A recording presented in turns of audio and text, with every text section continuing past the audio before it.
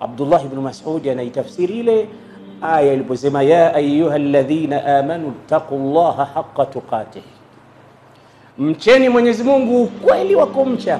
Alipoulizwa maana yake nini, akasema an yudhkara fala yunsa wa an yutaa fala yusa wa an yushkara fala yukfar.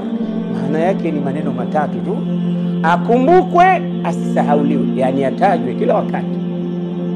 An yudhkara fala yunsa, atajwe asisahauliwe. Ndio maana taqwa Allah haqa tuqati. Wa an yutaa, na atiiwe, fala yusa. Wa an yushkara fala yukfar, ashukuriwe wala asikufuriwe. Sote Waislamu kama tunataka kupata saada, tuwe tunamtaja Mwenyezi Mungu sana kila wakati, wanaume na wanawake.